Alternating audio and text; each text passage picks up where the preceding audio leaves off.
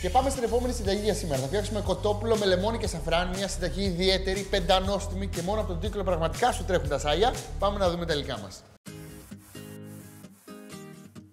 Για το κοτόπουλο λεμονάτο με σαφράν θα χρειαστούμε 1 κιλό κοτόπουλο, 6 με 7 κουταλιές της σούπας ελαιόλαδο, ένα κρεμμύδι, ένα κουταλάκι του γλυκού κουρκουμά, ένα κουταλάκι του γλυκού κίμινο, ένα κουταλάκι του γλυκού κανέλα, ένα κουταλάκι του γλυκού κόλιανδρο σε σπόρους, δύο σκελίδες σκόρδο, φλούδες από δύο λεμόνια, 10 γραμμάρια τζίντζερ, μία κουταλιά της σούπας ζάχαρη κρυσταλλική, μία κουταλιά της σούπας κρόκο κοζάνης, 100 γραμμάρια βερίκοκα αποξηραμένα, 50 γραμμάρια ελιές σε ροδέλες, 200 γραμμάρια νερό, 400 γραμμάρια ντομάτα κονκασέ και μία κουταλιά της σούπας ζωμό κοτόπουλου σε βαζάκι μάτζι.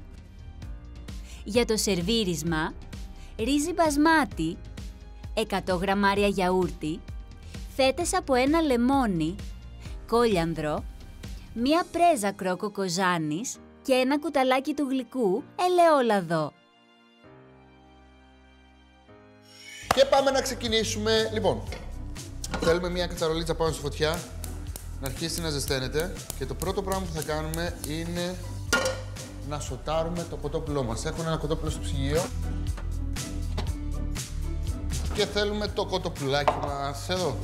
Φορέσω γάντια και θα μεριδοποιήσουμε, το έχω πει 100 φορές, συνεχίσω να το λέω, δεν θα σταματήσω ποτέ να το λέω μάλλον, ότι όταν έχετε να μαγειρέψετε ένα κρέας, εφόσον έχετε την πολυτέλεια να το φιλετάρετε μόνοι σας, να το μεριδοποιήσετε, θα το κάνετε μόνοι σας, γιατί κερδίζει χρόνο ζωής το κρέας μας. Είτε είναι κοτόπουλο, είτε είναι μοσχάρι, είτε είναι χοιρινό, οτιδήποτε. Οπότε, θα κόψω το κοτόπουλο σε μερίδες, εδώ, τα δύο μπουτάκια, εδώ και εδώ, πολύ εύκολα, έτσι όπως είναι, κόψω το στη μέση.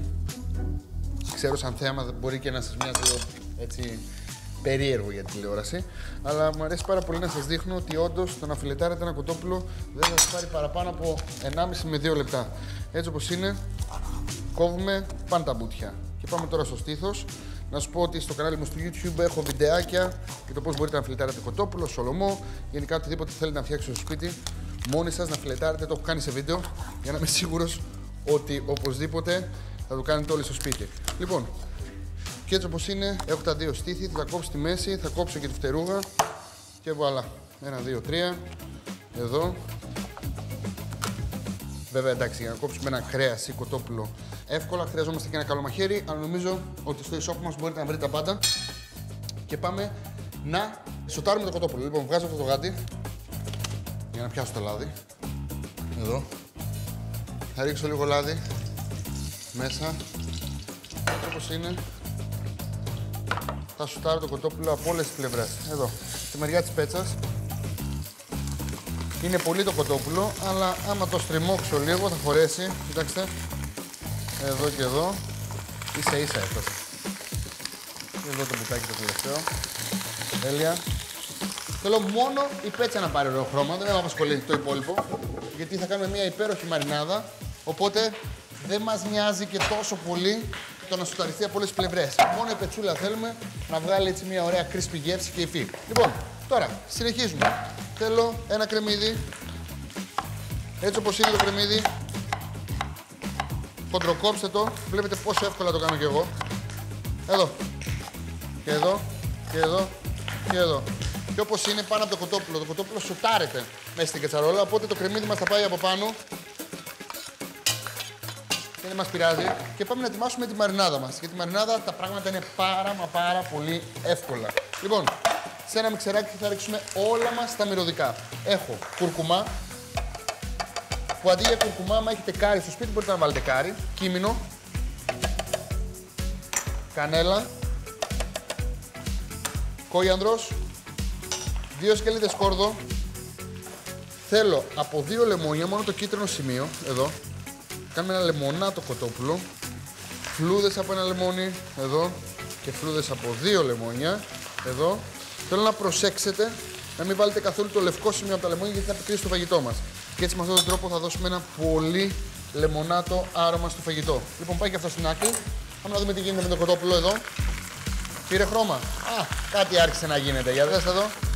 Οπότε γυρνάμε από την άλλη. Εδώ. Και εδώ.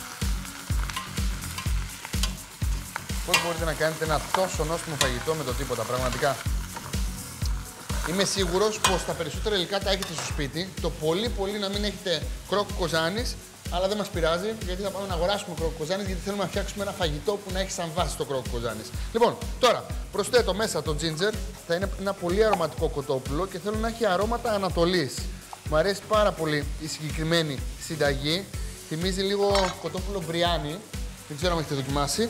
Σε μια παραλλαγή βέβαια, γιατί το κοτόπουλο μπριάνι ψήνεται σε ένα συγκεκριμένο σκεύος, γι' αυτό ονομάζεται μπριάνι. Εδώ πέρα, επειδή δεν έχουμε αυτό το σκεύος και έχουμε μια κατσαρόλα, θα κάνουμε ένα τύπο κοτόπουλο μπριάνι, αλλά θα το ψήσουμε σε ένα διαφορετικό σκεύος. Λοιπόν, ρίχνω μέσα και το ginger. Θα προσθέσουμε εδώ μέσα δύο κουταλιές της σούπας σε ελαιόλαδο. Έβαλα λίγο παραπάνω. Τρει-τέσσερι έβαλα. Αλλά δεν μας πειράζει. Και θα χτυπήσω όλα τα υλικά πολύ καλά μεταξύ τους για να κάνω μια αρωματική πάστα. Εδώ και εδώ.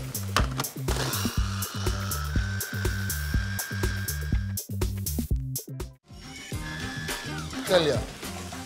Έτσι όπως είναι, προσθέτω αυτή την υπέροχη πάστα, Παναγία μου. Είναι γεμάτο αρώματα. Έχουμε βάλει μέσα όλα αυτά τα υπέροχα καλούδια. Μυρίζει το λεμόνι, μυρίζουν όλα τα μπαχαρικά που έχουμε ρίξει και θα ρίξω πάνω από το κοτόπουλο. Και με το που ρίξουμε την πάστα, ανακατεύουμε. Θέλω να μαρινάρω το κοτόπουλο μαζί με την πάστα και το κρεμμύδι. Εδώ. Και επίσης με αυτόν τον τρόπο, όλα αυτά τα αρωματικά, επειδή θα τα σοτάρω σε αυτό το σημείο, θα ανεβάσουν πάρα πολύ το αρωμά τους και τη γεύση τους. Και κοιτάξτε εδώ, γίνεται κάτι υπέροχο. Τώρα, ήρθε η ώρα να προσθέσουμε όλα τα υπόλοιπα υλικά μας. Θα προσθέσω τη ζάχαρη, τον κρόκο Κοζάνης. Κρόκος Κοζάνης ονομάζεται γιατί η περιοχή ονομάζεται Κρόκος.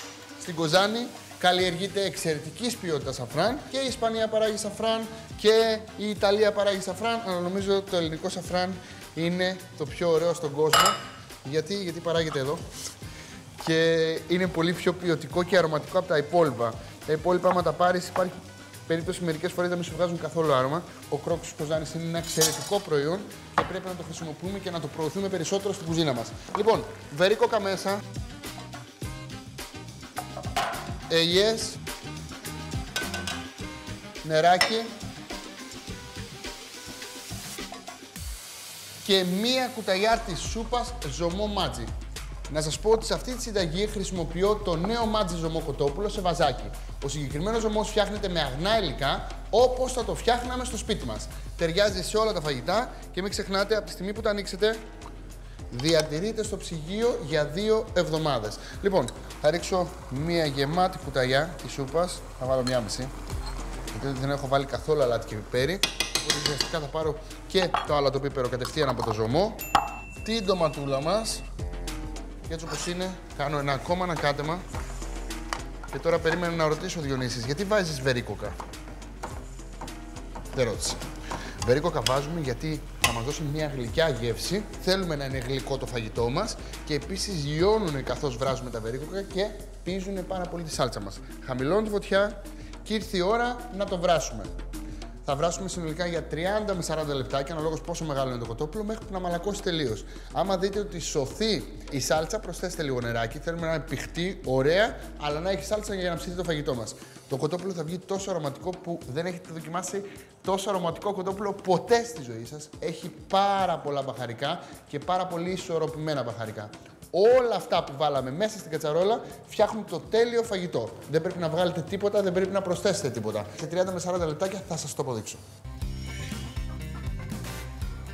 Σύμφωνα με αναφορές, οι Ιπποκράτης, Διοσκουρίδης και Γαλινός χρησιμοποιούσαν τον κρόκο ως βασικό συστατικό σε διάφορα ιατρικά σκευάσματα και τον συνιστούσαν ως παυσίπονο, αντιπηρετικό, υπνοτικό, επουλωτικό και αφροδισιακό χρήση του κρόκου φαίνεται πως έκανε και η Κλεοπάτρα, η οποία τον χρησιμοποιούσε ως συστατικό για τα καλλιντικά της.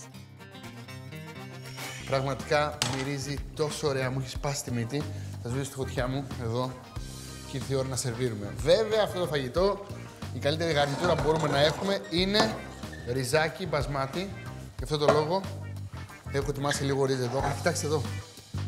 Και έτσι να το βγάλεις κανονικά σε ένα τραπέζι για να αφήνεις τον καθένα να φτιάχνει το πιάτο. Είναι μοναδικό. Εγώ θα ετοιμάσω ένα πιάτο για εσάς. Ε, ανυπομονώ πραγματικά να το στήσω για να δοκιμάσω. Γιατί είναι κάτι φανταστικό. Κοιτάξτε εδώ. Ριζάκι μπασμάτι. Σε περίπτωση που θέλετε να μάθετε πώς βράζουμε ρύζι για μπασμάτι, έχουμε βιντεάκι στο κανάλι μας στο YouTube. Μην ξεχάσετε να κάνετε subscribe.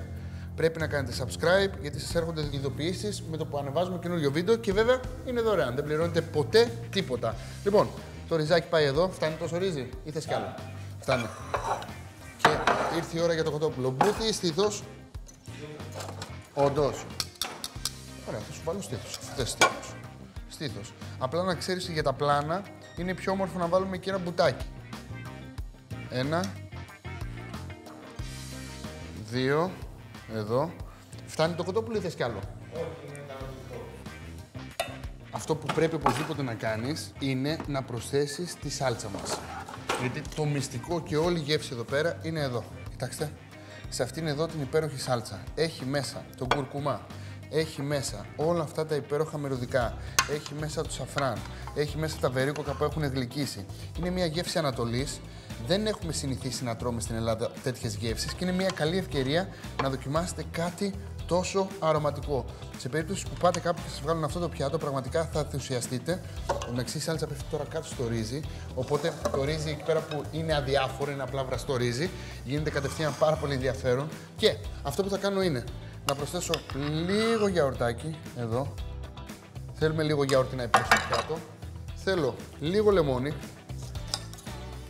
Όπως σας έχω πει, τρελαίνομαι και μόνο στην ιδέα ότι κάποιος μπορεί να δημιουργήσει στο πιάτο λίγο λεμονάκι, λίγο γιαούρτι, κάποιος θα μπορούσε να παίξει με τις γεύσεις και όντως να αλλάξει γεύσεις και βέβαια αυτό το φαγητό χρειάζεται κοιανδρό. Μην το λυπηθείτε, βάλτε κοιανδρό, κοιτάξτε εδώ. Θα προσθέσω και ίσα ίσα λίγο κρόκο κοζάνης πάνω από το γιαούρτι για να δώσω έτσι περισσότερη σημασία. Κοιτάξτε εδώ. Πώς μπορείς πραγματικά να απογειώσεις ένα πιάτο με το τίποτα. Λίγο πιπέρι. Φρέσκο. Και τι βάζω πάντα στο φαγητό μου στο τέλος. Ελαιόλαδο. Φρέσκο ελληνικό παρθένο ελαιόλαδο για να δώσει και άλλα αρώματα και στο ρύζι και στο κοτόπουλο και στο γιαούρτι. Και πείτε μου τώρα πηγαίνετε σε ένα σπίτι και σας έβγαζαν αυτό το πιάτο για να δοκιμάσετε. Τι θα λέγατε; Αυτός ο άνθρωπος ενώ μαγειρεύει αγαπάει το φαγητό, ξέρει τι κάνει και είναι μερακλής. Για το κοτόπουλο λεμονάτο με σαφράν, κόβουμε το κοτόπουλο σε μερίδες και βάζουμε σε κατσαρόλα σε δυνατή φωτιά με 2-3 κουταλιές της σούπας σε ελαιόλαδο. Κόβουμε το κρεμμύδι σε χοντρά κομμάτια και το προσθέτουμε.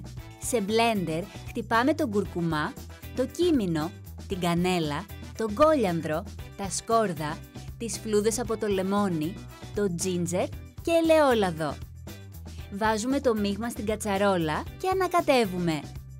Προσθέτουμε τη ζάχαρη, τον γκρόκο κοζάνης, τα βερίκοκα κομμένα σε λεπτές φέτες, τις ελιές, το νερό, το ζωμό κοτόπουλου, την ντομάτα κονκασέ και ανακατεύουμε. Καλύπτουμε με το καπάκι και σιγοβράζουμε σε χαμηλή φωτιά για 30 με 40 λεπτά. Σερβίρουμε με το μπασμάτι, το γιαούρτι, φέτες από λεμόνι, κόλιανδρο φρέσκο, τον γκρόκο κοζάνης, πιπέρι και ελαιόλαδο. Λοιπόν, και ήρθε η ώρα της δοκιμής, αυτό που σας έλεγα. Πάρτε λίγο λεμονάκι, ρίξτε πάνω από το κοτόπουλο εδώ. Εντάξει, είναι τόσο αρωματικό. Αλήθεια σας λέω, η κάθε μπουκιά θα είναι εμπειρία, θα είναι μια καινούργια γεύση για εσάς. Οπότε να ξεκινήσω από εδώ, από το στήθος, κοιτάξτε εδώ. Έχει μαλακώσει, είναι γεμάτο αρωματικά. Μμμ. Θα πάρω λίγο γιαουρτάκι. Βλέπετε μαζί με το ρύζι και τα μυρωδικά. Οπότε έχω μια καινούρια γεύση. Μμμ. Και άμα συνδυάσω κόγιανδρο, γιαούρτι και σαλτσούλα, πάλι έχω μια καινούργια γεύση. Δεν υπάρχει. Μακάρι να σερβίρανε σε κάποιο εστιατόριο στην Αθήνα αυτό το φαγητό. Θα ήμουν τόσο χαρούμενος, θα πήγαινα όλη την ώρα να δοκιμάσω γιατί δεν υπάρχει. Είναι κάτι μοναδικό, είναι κάτι τόσο γευστικό. Δεν θες πολλά πιάτα γύρω σου. Θες μόνο αυτό και να ασχοληθείς μόνο με το δικό σου πιάτο. Καλή μας όρεξη.